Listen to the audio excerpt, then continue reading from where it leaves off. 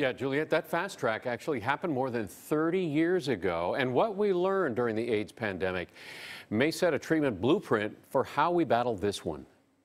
It's going to get better and better. On Monday, Dr. Anthony Fauci announced the good news from the White House. A drug can block this virus.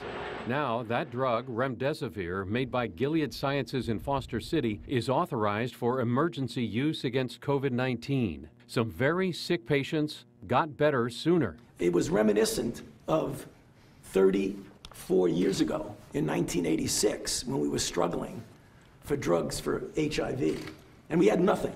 The early days of AIDS in San Francisco. Former KPIX reporter Hank Plante covered it. They were very bleak years in the beginning. Unbelievable fear.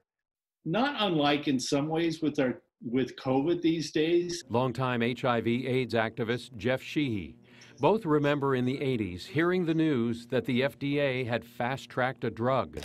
Hope in the form of a pill called AZT. was uh, very similar to the situation today. AZT was not easy to take. People had to take it every four hours. Remdesivir is also difficult to use. It's an IV drug given in the hospitals to very sick patients over the course of five to 10 days. Fusion is not going to work for the millions of people around the world who are at risk or have COVID.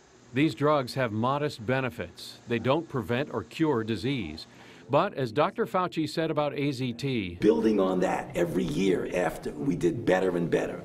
That caught the reporter in Hank Plante. Uh, he's a very, very cautious guy, and to me, he sounds very optimistic. And Sheehy, who is HIV positive, says he is alive today because of this first step. AZT was, was showed us the way to go. Now, these drugs were also developed to treat other conditions.